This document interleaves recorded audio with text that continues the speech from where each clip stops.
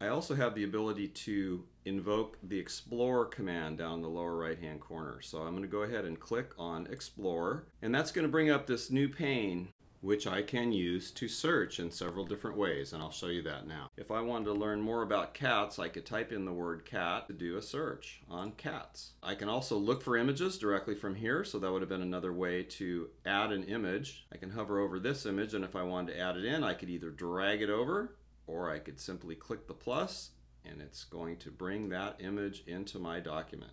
And it, once again, I can resize it and do quite a bit of manipulating of that particular image as well. If I double click it, I do also have the ability to crop and only include the part of the image that I want. So that was a double click right on the image itself. Finally, I can add information from Drive or I can do a search in Drive for anything that has the word cat in it or cats in it.